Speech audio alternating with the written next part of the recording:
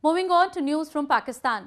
Pakistan's ruling Pakistan Muslim League Nawaz has chosen ousted Premier Nawaz Sharif's brother Shahbaz Sharif as the next prime ministerial candidate.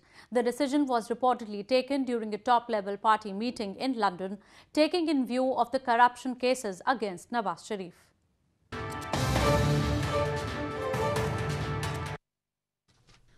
Pakistan's ruling Pakistan Muslim League Nawaz or PMLN has decided to put forward Shahbaz Sharif as prime ministerial candidate after the 2018 elections.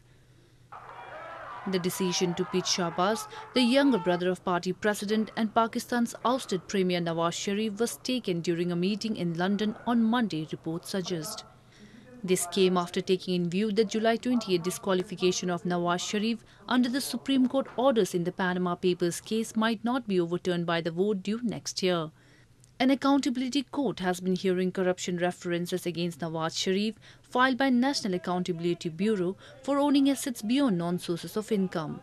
He was indicted last month in the references along with his children and son-in-law. The next hearing in the case is to be held on November 3.